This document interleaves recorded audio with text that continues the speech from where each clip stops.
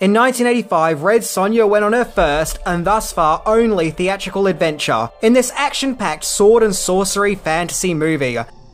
Starring Bridget Nielsen as the title character, Red Sonja must go on a quest to seek revenge against the evil Queen Gedren for killing her family, where Red Sonja is granted superhuman strength and fighting abilities by a goddess, where she will continue to have her powers as long as she doesn't do the spicy tango with a man, unless he defeats her in combat. Hey, don't look at me like that, I didn't make up the rules where along the way she teams up with Lord Kalidor, played by Arnold Schwarzenegger, who is in no way playing Conan the Barbarian, wink wink nudge nudge, in this fantasy epic adventure full of magic and wonder.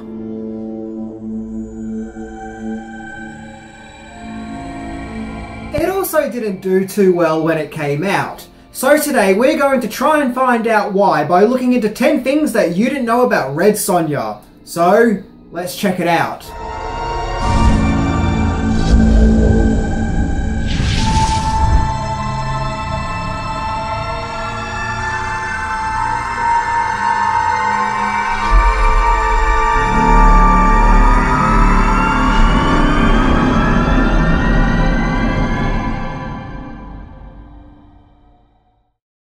Number 10 Origins of Red Sonja. Red Sonja made her first appearance in the 1934 pulp magazine The Magic Carpet, where she appeared in a story called The Shadow of the Vulture. She was the creation of pulp writer Robert E. Howard. Red Sonja was originally of Polish Ukraine descent, fighting against the Ottoman Empire, with the action taking place in the 16th century and she wasn't a sword wielding warrior, but rather a gun slinging one. She did, however, have her famous fiery red hair, hence her name Red Sonja. The character was recreated for Marvel Comics in 1973, where she appeared in Conan the Barbarian issue 23. She was created by Roy Thomas and illustrator Barry Windsor Smith, where she became the Red Sonja that we all know. Now she wasn't a gunfighter of the 16th century, but a sword fighting warrior of the Hyborian age. Although she started off as a character in the Conan comics, in 1975 Red Sonja proved so popular she got her own comic book lineup. However, her run with Marvel came to a close in 1986, but Dynamite Comics would reintroduce the adventures of Red Sonja in 2005 in a brand new comic book lineup, which is still going on to this day. With Red Sonja proving to be very popular among comic book readers. Number 9. The movie couldn't use the character Conan. The Dino De Laurentiis Corporation had previously produced the two Conan movies which starred Arnold Schwarzenegger, those being Conan the Barbarian in 1982 and Conan the Destroyer in 1984, so it was decided to make a spin off movie based on the movie Red Sonja. As in the comics, she is part of the Conan universe. And of course, the production had a contract with Schwarzenegger, so he was brought back on board to play Conan.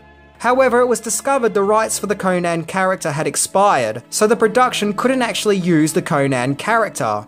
They could, however, use Schwarzenegger, so it was decided to make Arnie a new character. Just like Conan, only he was called Lord Kalidor. This has caused great confusion among fans over the years, as Arnie looks and acts just like Conan in Red Sonja, but he isn't Conan. This has led many fans to come up with a theory that Kalidor is Conan and that Kalidor is just one of his travelling names. Either way, yeah, he's basically Conan. Number 8. The casting of Red Sonja. Sandahl Bergman, who had previously starred as the love interest in Conan the Barbarian, was initially offered the role of Red Sonja, but she expressed more interest in playing the role of the evil queen, so she was cast in that part instead. Maniac cop actress Laurene Landon was next in line to play the title role. But producer Dino De Laurentiis discovered that she had starred in a similar movie called Hundra, and it was felt that the Hundra role was too similar to Red Sonja, so it was decided not to cast her in the part. Apparently, finding the right actress to play Red Sonja was a timely chore, which took about a year, as the production just couldn't find whom they felt was the right actress for the part. According to IMDb, even Sigourney Weaver was offered the part. It was only eight weeks till filming was to take place when Dino De Laurentiis saw Bridget Nielsen on the cover of a fashion magazine, where the 21 year old Denmark model was swiftly flown to Rome and auditioned for the part, and got it. And it was good casting too. I mean, okay, her acting can be creaky at times, but you know, after all, this was her first acting gig. But all that aside, she does come across as a warrior and does look great wielding a sword. Number 7. Arnie was just meant to have a cameo. One year earlier, in 1984, Schwarzenegger struck gold with his performance as the Terminator, where he now wanted to move on to bigger movie productions. However, he agreed to return to Red Sonja as a favour to Dino De Laurentiis. His part in the movie was intended to be a glorified cameo. However, his planned one week on set turned into four weeks, and upon watching a rough cut of Red Sonja, Schwarzenegger discovered that his minor part was actually more of a co star role, with some trickery being involved, such as using multiple cameras when he was on the set, which led him to finish his 10 year contract that he had with Dino De Laurentiis. In fact, Schwarzenegger even got top billing for Red Sonja, which may have even led to audiences to believe that it was a Schwarzenegger movie or even a flat out Conan movie. Heck, in some parts of the world, the movie was even retitled to Kalidor, aka his character in Red Sonja, completely taking Red Sonja away from her movie. Arnie felt that Red Sonja was the worst movie that he had starred in. However, Schwarzenegger doesn't seem to hold ill feelings now, and even jokes, saying that he used to use Red Sonja to discipline his kids, and would tell them if they didn't behave, he'll make them watch Red Sonja. I don't know if that's legitimate or if that's just Arnie making a joke about how much he doesn't like Red Sonja. I mean, come on, it's not that bad. Number 6. Filming. Conan the Barbarian was mainly shot in Spain. Conan the Destroyer was mainly shot in Mexico. And interestingly enough, Red Sonja was mainly filmed in Italy particularly around the Grand Sasso, with the location giving the movie that ancient sword and sorcery fantasy look as well as some movie studios in Rome also being used. Red Sonja was directed by classic movie director Richard Fleischer, son of Max Fleischer, whom one year earlier previously directed Conan the Destroyer, as well as other classics like Fantastic Voyage and Doctor Dolittle. The script was written by British television scriptwriter Clive Exton, whom was probably best known for writing the British comedy show Jeeves and Wooster. However, it seems that during filming there was problems with the script, as fellow British scriptwriter George MacDonald Fraser was brought onto the set to do script rewrites as the movie was actually being filmed.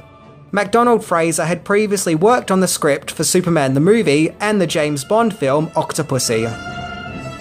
So seeing how we're halfway through the video, I thought I'd give you a quick tour of my video store.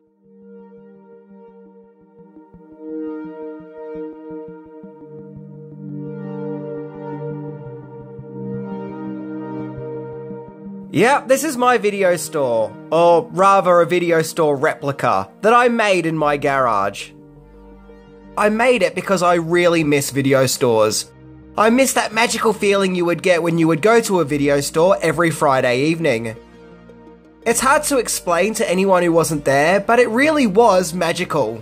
Just the colours and the atmosphere, and seeing all the covers side by side. It would always leave me to get this excited tremble, you know, this sort of anticipation I would get when I would just look at all these covers, where I would think to myself, what new movie awaits for me this time? When I moved into my house and saw this garage, the first thing I thought to myself was, this kind of looks like it could be a video store. So, yep, I'm going to make it a video store.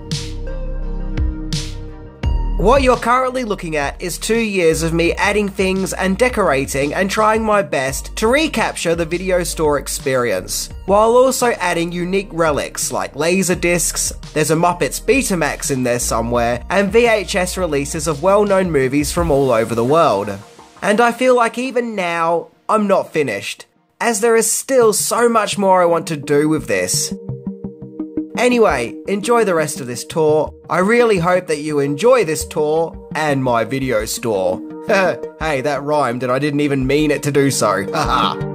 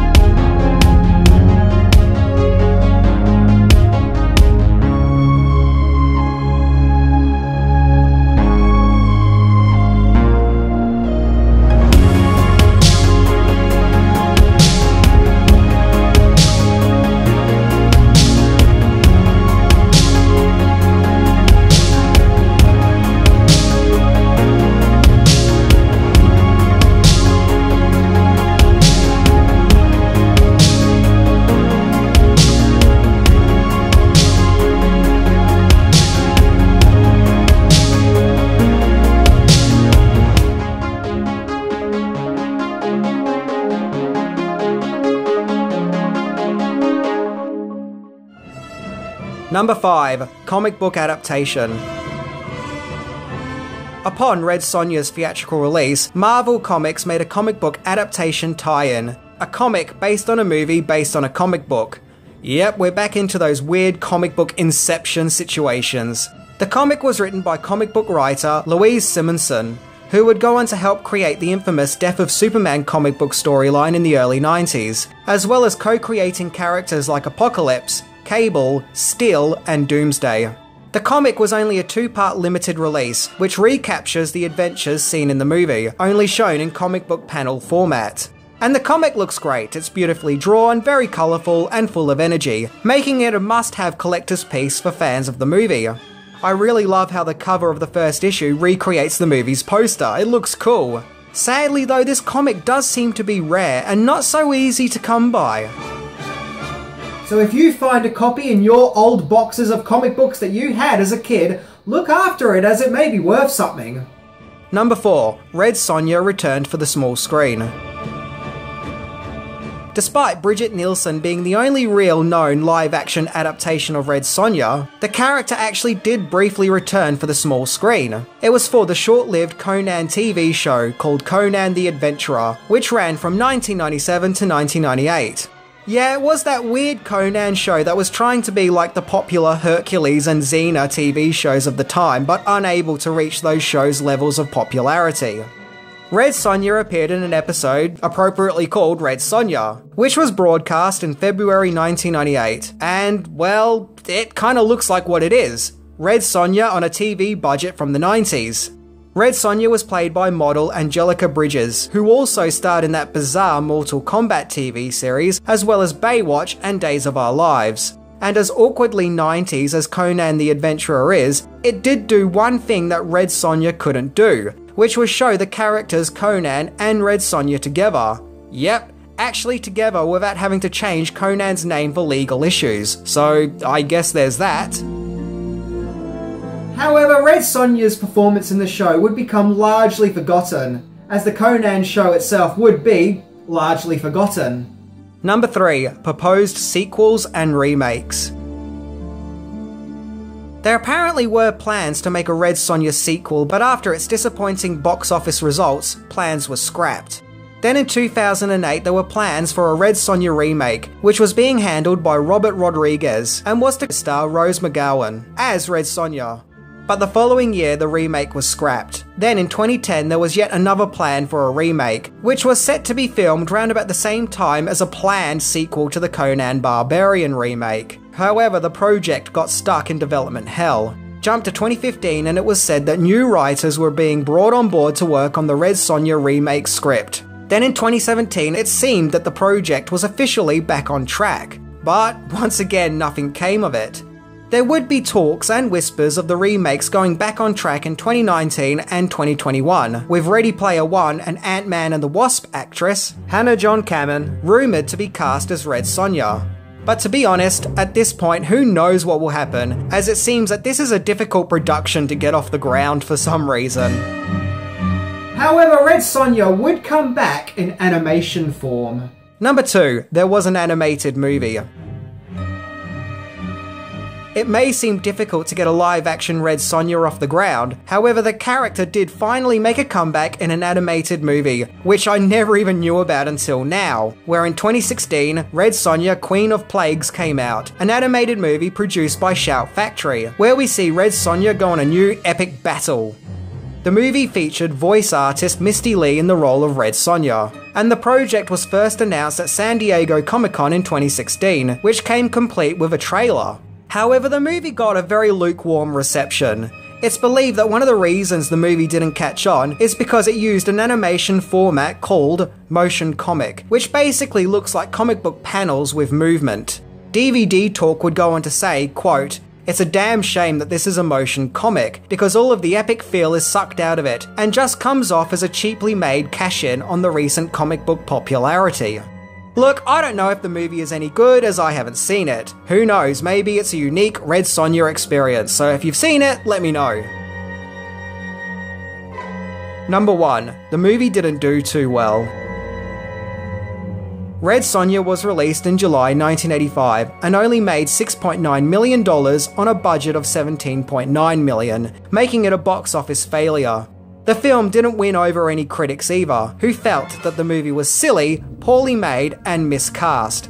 Both Siskel and Ebert famously roasted the movie in their review, where Ebert said it has dialogue which sounds like the actors have already read the Mad magazine parody of the film. Red Sonja would also go on to get nominated for three Golden Raspberry Awards, with Brigitte Nielsen winning Worst New Star. So yeah, it seems that at the time that people really didn't like this movie, but I feel like that it has grown in popularity over the years. To me, it's just another entry in the lineup of sword and sorcery movies that came out during the 80s. Maybe at that stage, people were just fed up with the genre. After all, in following years, both Legend and Willow underperformed and didn't get the best reviews, but both would go on to be cult classics. I think that if you're a fan of the genre, you'll enjoy this movie. It's fun and adventurous, and has some very interesting visuals, and dare I say it, I think Nielsen is pretty good in the role. She definitely does look the part. You should definitely check it out if you're a fan of the previous two Conan movies starring Arnold Schwarzenegger, as Red Sonja does kind of act as a spiritual third entry, or at least a spiritual spin off. It may not be a movie that has everything to entertain everyone, but what it does have is still perfectly enjoyable.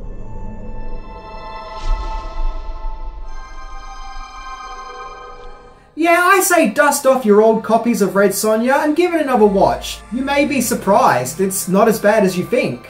It has that dark fantasy look and feel, and it is lots of fun. Anyway, I'm Minty, and I'm honestly surprised that Red Sonja is Arnie's personal worst movie that he has starred in. Has he not seen Junior or Batman and Robin? See ya!